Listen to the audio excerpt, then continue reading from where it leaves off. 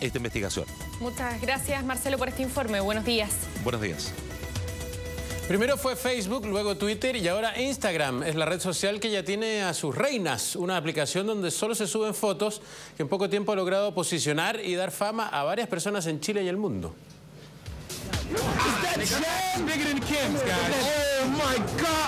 Quedó loco el amigo, claro, sí, vio en vivo y en directo a Jens Zelder. ¿Le suena? Lo más probable es que no. Esta chiquilla, le cuento, se volvió súper popular por fotografiar la parte más perfecta de su cuerpo, tanto que hoy la llaman la reina de Instagram. When I first started posting photos, I never thought my butt would be this like sensation or the most known butt on Instagram these days. Tiene casi 3 millones de seguidores en la aplicación que sirve para subir fotos de manera súper simple. Una soberana de las redes sociales cuyo éxito le dio el pasaje para incluso aparecer en una de las revistas más importantes del mundo, Vanity Fair.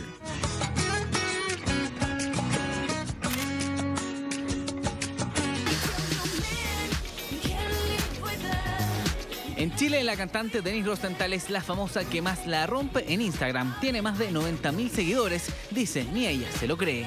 Y estoy muy agradecida de verdad por todo el cariño que me ha entregado la gente. Y creo que, no sé, no existe mucho clave, sino que ser uno misma y mostrar cosas entretenidas que a la gente le gusta, generar contenido. Fotos de su ropa, de sus paseos, de su pololo o de un día cualquiera. Da lo mismo lo que suba. Todo genera comentarios y más y más seguidores. Instagram lo abrí porque es divertido, es entretenido también. Eh, uno puede seguir a quien quiera, entonces es muy interesante también. Aplicación que también ha cautivado a Mariana Alcalde y ella a su vez a un sinfín de seguidores con sus imágenes.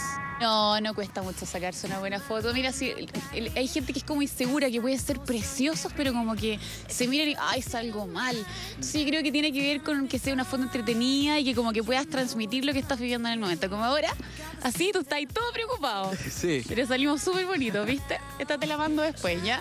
Como diseñadora dice, la clave ha sido subir fotos de sus creaciones y claro, una que otra imagen coquetona. A la gente le gusta mi, mi, mi estilo, como de mi ropa, y de repente subo mis colecciones, que también le gusta, o de repente la típica foto en bikini, y ahí están todos los niños ahí más curiosos también se meten. Eh, yo creo que tiene que ver con eso y trato de que como la estética de las fotos sean bonitas. Aplicación que ya validó a esta norteamericana y que prácticamente ya la ha convertido en una celebrity, si hasta ya ha sabido de la parte bonita y fea de la fama. With every picture I add, if it has a little butt in it, I get fake butt, butt implants, Photoshop, I can go on and on.